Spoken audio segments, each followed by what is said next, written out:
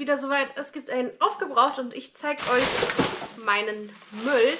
Ähm, das meiste habe ich hier in der Küche aufgebraucht, kenn, aufgebraucht, kennt ihr ja schon. Und ich zeige jetzt noch alles und gibt noch äh, Top oder Flop. Ne? Also ich sage euch noch, wie wir das gefahren, gefunden haben. Exquisit Kartoffelpüree mit Steinpilzen und Trüffel. Muss ich sagen, absoluter äh, Flop leider. Ähm, das war hier vom Iggy, weil ich mag gar keinen Trüffel und hätte es mir auch nicht gekauft. Aber wir haben das angerührt und da waren wirklich, also ähm, Pilze 0,0 optisch sichtbar, also gar nicht. Und der Trüffelgeschmack, also ich mag hier auch keinen Trüffel, aber es hat so massiv nach chemischen ja, Trüffelgeruch, ne? Also sagen wir es mal so, es ist. Ozok mag eigentlich Trüffel, aber er mochte auch dieses Kartoffelpüree leider nicht. Deswegen auf jeden Fall ein Flop. Das würden wir auch definitiv nicht nachkaufen. Oh, Schokör, Rahmmandel. Ich habe Schokomuffins äh, gebacken. Deswegen, ich habe gerade überlegt, wann ich diese ähm, Tafel Schokolade aufgebraucht habe. Ähm, ja, und dafür habe ich drei Tafeln gebraucht. Es war sehr schokolastig, war so Triple Schok, war so ein Thermomix-Rezept und sehr, sehr gut. Ja, ich mochte das auch mit den großen Mandelstücken. Uh, ja, hier von äh, Bauerngut Hähnchenbrustfilet. Hat eigentlich 5,45 gekostet und war dann nach der Werbung reduziert auf 3,82. Und das habe ich aufgegessen. Also das war so Hähnchenfilet ummantelt mit Bacon. Und also richtig viel Bacon, ne? Da haben die nicht dran gespart und das war richtig lecker. Ich habe es in der Pfanne angebraten und dann nochmal durchziehen lassen, damit es durch ist. Oh, es war so zart und super lecker. Also das würde ich hier jederzeit wieder nachkaufen. Das war richtig gut, dieses Fleischpaket. Achso, äh, Rupala. Ja, ähm, wo war denn das? Das war hier auch reduziert auf 1,40 die Packung, die 200 Gramm. Ähm, das, ähm, das war eine Zusammensetzung. Der Name von... Wisst ihr noch, wo wir unsere Tour gemacht haben? Jedenfalls für 1,40 statt 2,79. Ich glaube, das 2,79, ich weiß nicht, ob das auch ein Mondpreis... Hier, Briesmann steht sogar drauf. Ja, aber verkauft haben sie es für 1,40. Und tatsächlich sind noch drei, vier Stücke da. Das sind diese kleinen. Und ja, Mr. Tom würde ich, ist, ist mein absolutes Highlight, ne? Also liebe ich total. Also alles mit Erdnuss generell, aber Mr. Tom ist wirklich so ganz, ganz oben auf meiner, auf meiner Liste. Ich liebe dieses Zeug, es ist so lecker. So, hier war auch noch für die, für die Muffins und ähm, Wasser. Also wir haben jetzt doch einen höheren Wasserverbrauch und das ist echt anstrengend, so viele Wasserflaschen die ganze Zeit zu kaufen. Also das ist echt, das artet wirklich in Arbeit aus, weil es ist hier auch schwer und man muss den Pfand wieder zurückbringen. Also ich finde schon, für, für drei Leute jetzt finde ich es mittlerweile ultra nervig. Ähm, ich trinke ja auch noch ein bisschen Wasser. Meistens trinke ich jetzt Quellwasser oder mache so Hälfte, Hälfte oder nur Quellwasser. Aber der Verbrauch ist trotzdem äh, hoch. Und ähm, hier, das, der war ja in der Werbung. Den hatten wir, weiß nicht, für einen Euro oder so gekauft gehabt. Mega gut mega guter Käse. Hat auch diese Salzkristalle gehabt, weil es halt so ein älterer Käse ist, so gut gereift ist. Und ja, das war richtig lecker. Auf jeden Fall. Das würde ich jederzeit wieder kaufen, vor allem für den Preis. Also, da mehr Rahmen. Leute, unsere Vorräte, die schrumpfen. Wisst ihr noch in der, in der äh, in Fatis Wohnung, ich wollte jetzt die Adresse sagen, aber ist ja auch wurscht, ähm, da war das ja sogar auf meinen Vorratsschränken drauf, ne, weil wir so viel gekauft hatten davon. Und mittlerweile ist es quasi nur noch so vier ganze äh, Pappkästen voll, Pappstiegen voll. Ähm, oder passen da fünf in den Schrank? Ich überlege gerade. Die ganze untere Reihe ist sozusagen noch voll, aber wir haben da schon echt viel abgearbeitet. Und das ist natürlich kein geiles Essen. Ne? Es hat 300, 400 Kalorien je nach Packung. Ne? Manchmal macht man dann noch so ein Ei mit rein, dann ist es super lecker. Wenn man jetzt keine Lust hat zum Kochen, finde ich eine Portion davon, finde ich eigentlich mal richtig geil eigentlich. Ne? Also dafür, dafür auf jeden Fall top. Ähm, Ozok sagt, alle anderen Sorten schmecken nicht. Deswegen weiß ich auch nicht, wie die schmecken, weil er immer nur da mehr Rahmen kauft. So, dann haben wir eine äh, Wasserhängematte. Und die liebe ich, äh, liebe ich tatsächlich sehr. Also das ist absoluter Top. Das ist von Miss Muffin Make-up. Das hat sie uns geschenkt, erst mit Pringsel. Und ja, ich habe sie benutzt, Ozak hat sie benutzt, Iggy hat sie benutzt. Also wir lieben sie sehr. Ich hoffe, dass sie wirklich sehr, sehr lange hält. Ähm, ja, es ist so chillig und entspannter im Wasser zu liegen. Und ich finde es auch gut, dass der Körper halt hier im Wasser liegt und nicht komplett wie auf einer, auf einer Hängematte über, über Wasser. Also ich finde es richtig cool. Ähm, das macht mir sehr, sehr viel Freude, diese Wasserhängematte. Dann haben wir äh, Blockhaus, äh, Restaurantqualität. Okay, alles klar. Äh, Knoblauchbaguette. Ähm, wir haben gegrillt hier und ja, das hat äh, Iggy gesponsert. Wirklich, also ich fand auch diese No-Name-Baguettes, ich finde, die sind teuer geworden, oder nicht? War die nicht mal irgendwie so günstig, dass man sie immer mitgenommen hat, aber sie kosten jetzt einfach 99 Cent.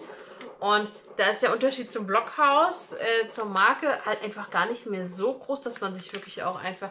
Also ich würde auf jeden Fall demnächst wieder, also wenn wir das kaufen würden, ne, würde ich mich wieder für Blockhaus entscheiden. Auf jeden Fall. Das schmeckt so viel besser als die ähm, No-Name-Variante. Also, TK-Bildteile lernen liebe ich auch sehr. Absolut äh, Liebling einfach, ne? Hab auch viel Porridge gegessen diesen Monat wieder. Und ja, habe ich äh, alle bekommen. Die ja Gott sei Dank in der Werbung beim Edeka geholt, die TK Wildheidelbeeren. Und ich habe noch ein paar Pakete im Kühlschrank, Tiefkühlschrank und ich bin da sehr, sehr glücklich äh, drüber, dass mein Vorrat noch so groß ist, bis es wieder äh, in der Werbung ist. Weil das Produkt ist schon recht teuer, aber jede einzelne Packung von diesen Blaubeeren ist einfach super süß und lecker. Jede schmeckt top und ich mag es das auch, dass da keine ähm, also bei Brombeeren oder Himbeeren hat man diese Kerne manchmal so drin und das mag ich nicht mit meinen Zähnen. Und die haben halt, also die sind halt wirklich super lecker. Ja, ähm, wir haben viel gekocht. Wir haben auch viel Öl aufgebraucht, tatsächlich. Und ähm, Karottensaft, auch sponsert beim Iggy, hat mir sehr gut geschmeckt. Also die gucken mich immer ein bisschen blöd an, wenn ich so einen Karottensaft trinke. Ganz ehrlich, ne? Sie wollen auch nicht kosten, beide nicht. Aber ich finde es saulecker, so ein Karottensaft. Und ich habe ja auch einen Entsafter und habe ähm, das auch schon selbst gemacht, aber meins ist so ein bisschen stückiger. Also ich müsste es nochmal durch ein Sieb geben. Aber ich liebe das wirklich sehr. Das ist so geil. Also jetzt nicht täglich oder so, aber so ab und an schmeckt mir richtig gut. So, äh, Knoblauchpulver äh, haben wir drei hier einen sehr großen Verbrauch auf jeden Fall. Einen sehr, sehr hohen Verbrauch. Ähm, äh, Maggi Hühnerbrühe von der, äh, von der Schweinefee. Also ist jetzt äh, bald alles alle. Haben wir auch äh, verbraucht. Ich habe noch ähm, tiefgefroren selbstgemachte Gewürzpaste mit einem Thermomix. Ähm, das würde ich auch nicht mehr wieder kaufen. Also Marco sowieso nicht, kennt ihr uns ja. Aber haben wir jetzt aufgebraucht, war okay. Aber ich finde das selbstgemachte tatsächlich, also es ist natürlich aufwendiger, aber ohne E-Stoffe, ohne Salz, ohne Zucker. Finde ich auf jeden Fall besser. Würden wir danach dann dann weiter die Gewürzpaste vom Thermomix. Ich hatte die auch mal verschenkt und die ist auch sehr gut angekommen und hat echt eine ewig lange Haltbarkeit auch. Ich habe es trotzdem eingefroren, um sicher zu gehen, weil ich ein Glas noch habe, aber würde sich wahrscheinlich auch im Kühlschrank geschlossen halten. So, wir haben Möwenpick, äh, Crema Authentico. Der Kaffeekonsum ist nicht gesunken bei uns.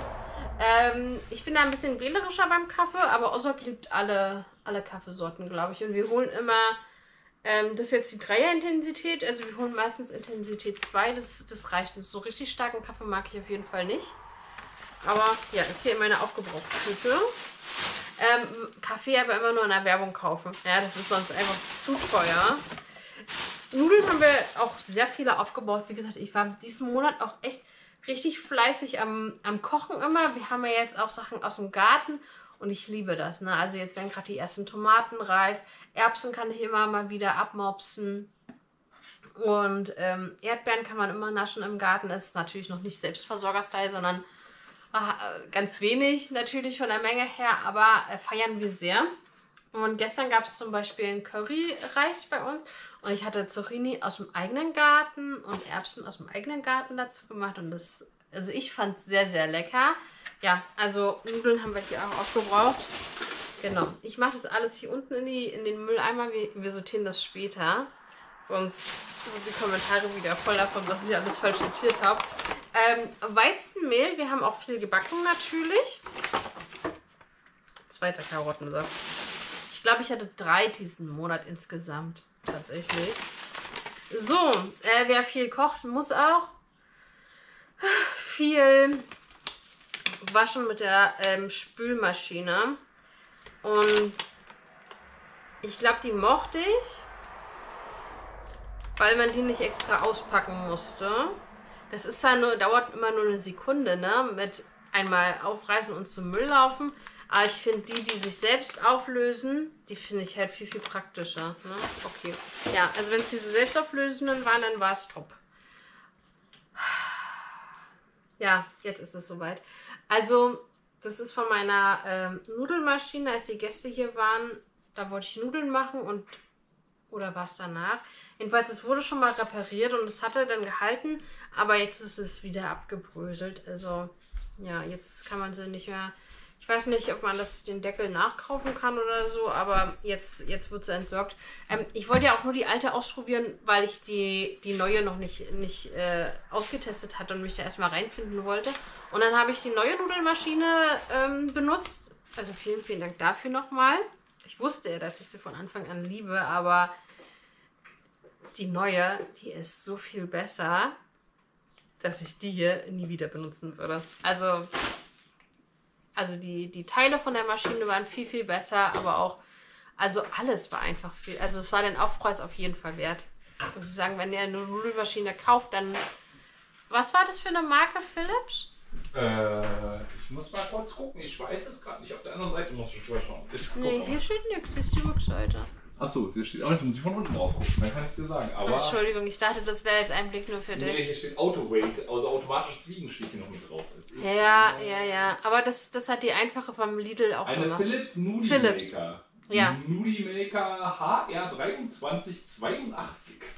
Genau, es gibt ja das zum Selbstkorbeln für 15 Euro bis, bis 50 Euro. Ne, die Preise schwanken, ist aber alles das gleiche Gerät, das ist Müll.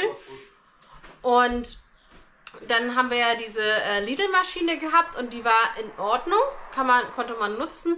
Aber jetzt, wo ich die Philips benutzt habe, ähm, es so viel besser und einfacher und kommt auch besser, besser raus. Also ja, äh, machen wir weiter. Äh, Kautabletten, äh, das war ein Flop auf jeden Fall. Ozok mochte das nicht, er hat sie aufgebraucht. Ich weiß gar nicht, wovon wir sie haben, aber er mochte diesen äh, Geschmack nicht von dieser Kautablette. Also er mochte dieses dieses Gefühl nicht im Mund. er hat es aufgebraucht und äh, würden wir auch nicht nachkaufen. Grundsätzlich sind wir schon ein Fan von Nahrungsergänzungsmitteln. Also sie ersetzen natürlich keine vollwertige, ausgewogene Ernährung, aber so fürs gute Gefühl, dass man mal so, ein, so eine Brausetablette oder Vitamine oder Mineralstoff, Mineraltablette genommen hat. Ne? Ähm, dafür nehmen wir das ganz gerne. Äh, Kaffeekonsum brauche ich hier, glaube ich, nichts mehr sagen. Achso, schaut mal, Cookies in Cream. Äh, schweineteuer, auf jeden Fall, für 10 so kleine Dinger aber richtig lecker. Also die mochte ich sehr, würde ich aber nicht nachkaufen, weil viel zu teuer. Auf jeden Fall. Ähm, Allzwecktücher. Ja, waren wir mal weg, sind wir jetzt wieder äh, voll dabei. Ähm, ist schon praktisch. Ne? Also spart auch nur eine Sekunde, ne? weil Lappen feucht machen mit Spüli ist jetzt auch nicht so die, die Tätigkeit, aber das geht halt schneller. Was soll man dazu sagen? Pizzaliebe, auch mega top. Oh, zweimal Öl. Okay. Okay, ich nehme immer nur so minimal fürs äh, Braten, aber Osok hier, ne? Der gibt manchmal, der frittiert quasi. Also hier kein Classic Baguette, aber Flop auf jeden Fall, auch für den Preis. So, Fleischermeister Familientopf Linseneintopf. Sieht aus wie äh, schon mal gegessen. Aber wir haben Pimp My Linseneintopf gemacht, war vom, vom Iggy noch, haben wir aufgebraucht. Und ich muss sagen, das war noch so total säuerlich bitterlich, aber wir haben dann Sahne reingemacht und dann konnte man es essen. Ne? Aber diese Fertiggeschmacksfliesen war halt nicht so geil. Würden wir auch nicht, nicht nachkaufen. Flop auf jeden Fall. Kürbiskern Full EP. Mega leckerer Käse. Liebe ich sehr mit diesen Kürbiskern. Finde ich voll geil. Und wir hatten drei, vier Packungen davon. Und dann Hartweizengrieß für Nudeln. Mega gut, auf jeden Fall. Habe ich noch einen kleinen Vorrat, habe ich ja so eine ganze äh, Stiege gekauft. Ja, finden wir voll gut damit. Und, achso, hier ist noch ähm, Liebstöckelblätter. Achso, ich habe mal wieder umgetopft gehabt. Liebstöckel habe ich hoffentlich nächstes Jahr in meinem Garten drin. Da freue ich mich sehr. Und Safranfäden hatten wir hier auch so eine ganz kleine Stiege gehabt vom, vom Iggy. Und ja, das machen wir gerne in unseren Reis rein. Das schmeckt sehr, sehr geil. Ja. Nudelmaschine. Leider. Leider, leider. So, dann Salami. War das meine Walnusssalami? Das ist Pfeffersalami. Auf jeden Fall Flop für mich. Das ist viel zu pfeffrig. Hirtenkäse. Top, lieben wir sehr. Haben wir auch Gurkensalat gemacht und mögen wir alle. Haben wir Pfälzer Leberwurst. Ähm, hatte ich jetzt bei unserem Besuch gekauft und konnten wir jetzt auch alle mit äh, überzeugen, dass die wirklich ganz gut ist. Äh, also das ist diese graue Leberwurst, weil die kein Nitrit-Pökelsalz drin hat und umgerötet worden ist und noch so eine Ursprungsrezeptur hat. Pfälzer Leberwurst, mega guter Geschmack auf jeden Fall. Ähm, und, ja, äh, wir haben hier Proteinshake in vegan. Äh, Flop auf jeden Fall, weil Schoko ist nicht äh, Schoko genug, so wie man es gerne hätte. Und die veganen, die schmecken auch ein bisschen krümeliger als die normalen, ehrlich gesagt. Ähm, wir hatten jetzt angefangen, ein paar Mahlzeiten mal, ja, Osok und ich mit einem äh, Shake zu ersetzen. Also vor allen Dingen ich. Also Osok hat es vorgeschlagen, aber ich habe es ein bisschen durchgezogen und dann haben wir es auch wieder äh, sein lassen. Aber wir haben sehr viele Eiweiß-Shake-Vorräte noch. Und äh, das muss auf jeden Fall auch mal aufgebraucht werden, weil die sind schon alt. So, dann haben wir hier von Südzucker äh, Vanillezucker und den habe ich in irgendeinen Kuchen mit reingebracht. Ähm, ich halte davon nichts, aber das war ich vom Iggy noch und das haben wir jetzt aufgebraucht gehabt sozusagen. Ähm, ich habe ja echte Vanillestangen, die ich immer in meine Zuckerdose stecke und das reicht dann immer für die nächsten fünf Jahre. Da hat man immer Vanillezucker, also würde ich nicht kaufen. Aber wenn man es nicht selber machen möchte, ich, ich weiß nicht, ich finde es auch zu teuer dafür, ehrlich gesagt. Und noch mehr Wasser. Achso, und hier haben wir Stickern. Äh, Floppe auf jeden Fall für das Set von Temu, dass der Faden nicht gereicht hat. Aber top auf jeden Fall, dass man hier äh, 100 Farben nachkaufen kann bei Amazon. Also es ist schon für ein bisschen Garn schon recht teuer, ehrlich gesagt. Aber ich konnte mein Projekt vollenden. Es ist vollendet, es ist auch gewaschen. Sieht gut aus, es liegt in irgendeiner Ecke. Also ja, aber das Projekt ist beendet. Deswegen ähm, hier Set auf jeden Fall Top-Preis, äh, Flop, aber toll, dass ich mein Projekt beenden konnte. Das, das ist ja sonst ärgerlich, ne? wenn man so ein Strickbild hat und es nicht beenden kann. Das ist schon, das zerstört den inneren Monk, ne? das, ist, das macht einen nicht glücklich. Essigreiniger, ähm, ja, nehmen wir zum Putzen und lieben wir nach wie vor für alle Oberflächen für die Waschmaschine. Mandeln. Ich hatte Bienenstich gebacken und ich fand den so lecker. Es war ja ein Blech und der Rest ist noch eingefroren. Wir können das noch auftauen sozusagen und noch essen. Aber mega gut. Ich eigentlich nicht mit ganzen Mandeln. Ich hatte dann so Stücke geschnitten mit einem Messer, sondern Mandelplättchen. Ich kaufe aber ja nur noch ganze Nüsse und trotzdem lecker. Auf jeden Fall. Und Bullseye Honey. Ich merke Barbecue-Soße. Ich finde den Geschmack irgendwie nicht so geil, aber die schmeckt hier echt richtig gut. Ne? Ja. Also die mögen alle drei, die Sorte. Achso, noch mehr Pfälzer Leberwurst. Und, ähm, achso, hier sind noch Holznupsis von meinen äh, Schildern. Mal gucken, die hängen jetzt draußen, die meisten Schilder, wie die so die ersten Regenphasen überleben. Ja, wie die so den Winter überleben, ob man es dann noch lesen kann oder nicht. Aber ähm, war ganz fleißig, habe das gemacht. War da ganz happy mit. Ähm, noch mehr Knoblauch, natürlich. Und äh, Lavera Naturkosmetik Zahnpasta habe ich auch wieder aufgebraucht. Waren alle meine Zahnpasta-Vorräte, sind jetzt alle alle. Ähm, ja, wollte ich nachkaufen bei Kaufland und sie haben den Preis ja schon wieder erhöht, ne? Über 3 Euro diese kleine Tube. Und letztes Mal war es wieder ausverkauft und dann habe ich eine ganz normale Kräuterzahnpasta genommen. Ja, weil ich eine neue brauchte und die ausverkauft war. Naja, okay. So viel so viel dazu. Das war mein ganzes Aufgebraucht jetzt hier vom, vom letzten Monat. Das war eine richtig große Tüte auf jeden Fall geworden. Ja, es ist schönes Wetter draußen. Ich gehe gleich in den Pool. Ne? Ich weiß nicht, was ihr macht, aber ich werde jetzt das, äh, ich werde es noch schneiden und hochladen. Und dann werde ich ähm, in meinen Pool gehen und mein Leben einfach genießen. Ich finde es so cool. Hier, in, hier, in meine Hängematte. Ja, ähm, ich beende das Video hier an dieser Stelle. Wenn es euch gefallen hat, ihr könnt mich gerne abonnieren. Abonnieren ist kostenlos. Ich freue mich drüber. Osok freut sich drüber. Iggy freut sich drüber. Wir freuen uns noch mehr darüber, wenn ihr beim nächsten Mal wieder mit einschaltet. Bis dahin. Ciao.